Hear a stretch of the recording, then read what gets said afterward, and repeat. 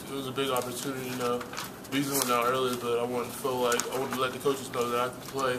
I know it's only a temporary thing with Beasley being injured, but I, I have to prove that, that even when he's back, that I still deserve to have some snaps on the field.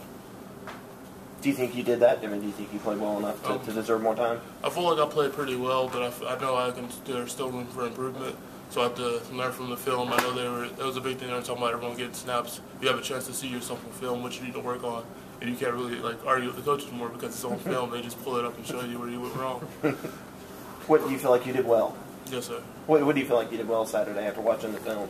Um, I feel like a big thing for me was knowing my assignments and being able to kind of go do what I have to do, and still being able to kind of help other people, let them know what they need to do, and just keeping the unit together. What do you need to work on the most right now? Probably hand placement and power level. I think are two big things for me.